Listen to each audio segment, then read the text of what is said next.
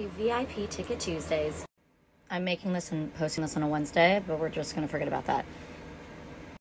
What is VIP Ticket Tuesday, you ask? Well, it's a good question. My first tour ever is literally less than a month away, and so I thought I would do something special every week leading up to it.